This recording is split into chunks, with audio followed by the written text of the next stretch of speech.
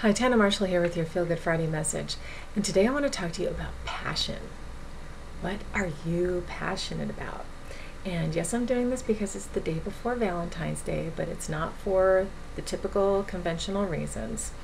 I want to talk to you about what makes you feel good, what makes you happy, what gets you excited.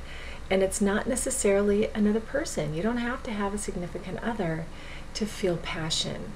It could be a person, but it could be a place, it could be an activity, it could be your pet, it could be a hobby.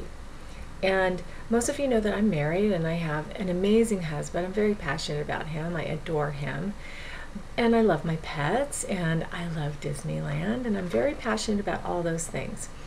But one thing I wanted to share with you specifically today was something that I've started doing recently that awakened a passion in me that I didn't even know that I had and it's really made a difference in my day to day life. And it's something that I just want to encourage you to think about if there's something that might spark some kind of passion in you.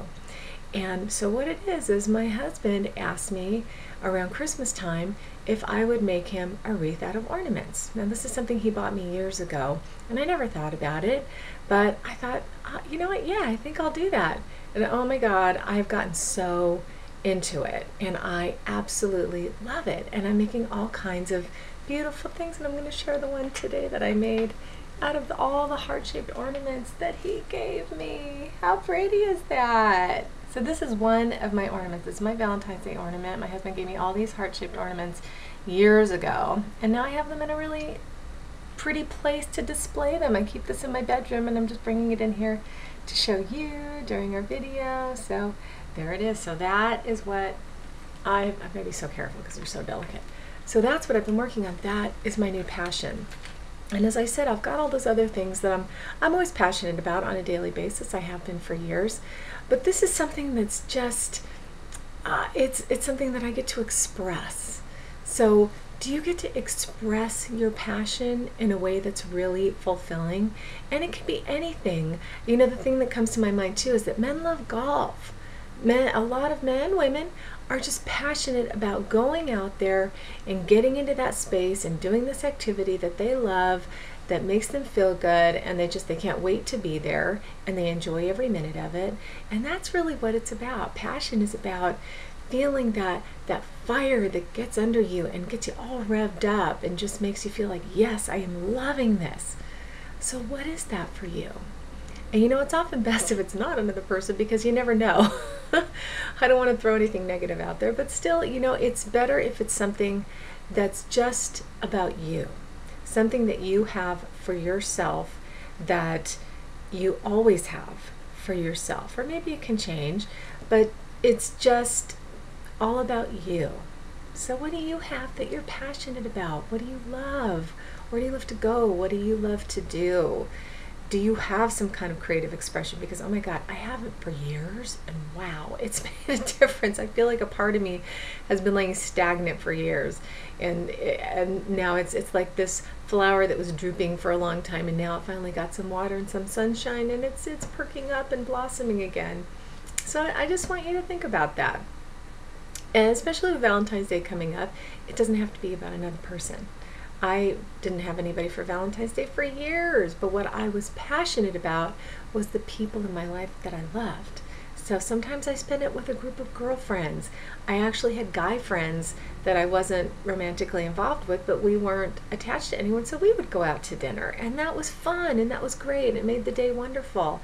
So it doesn't have to be anything specific, it's just whatever makes you feel good. And the other reason to find something that makes you feel passionate is because when you're feeling that intense emotion, it raises your vibration, which, as we've talked about so much, just makes everything in your life better. And it opens you up, puts you into a state of allowing so that you can attract and be open and receptive to all the things that you've been saying that you wanted, even if it's not related to the thing that you're feeling passionate about. The point is that you're feeling good and you're feeling that warm, fuzzy feeling, and all of your cells are just singing with excitement and joy. And that's really what it comes down to joy. Enjoy your life. You're passionate about something, you're enjoying it. Joy is the main purpose of life. So there we go. right back to the core of it right there. So I just want you to think about it, especially with this weekend coming up. If you're bummed because you don't have anyone, you know what? It doesn't matter. Find something that brings you love, awakens your passion, and immerse yourself in it, whatever it is. Or if it's a place, go there. If it's an activity, go do it. It's a day of love, and it's about you feeling love in whatever form that means for you. So just feel love this Valentine's Day.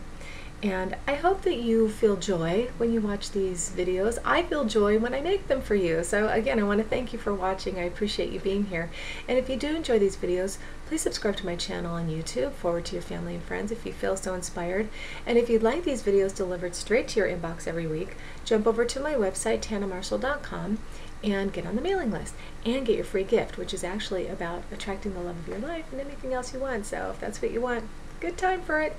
So with that, I just want to wish you a great weekend filled with love and passion and joy in whatever form that means for you. Just enjoy it. Have a great weekend, and I'll see you next week.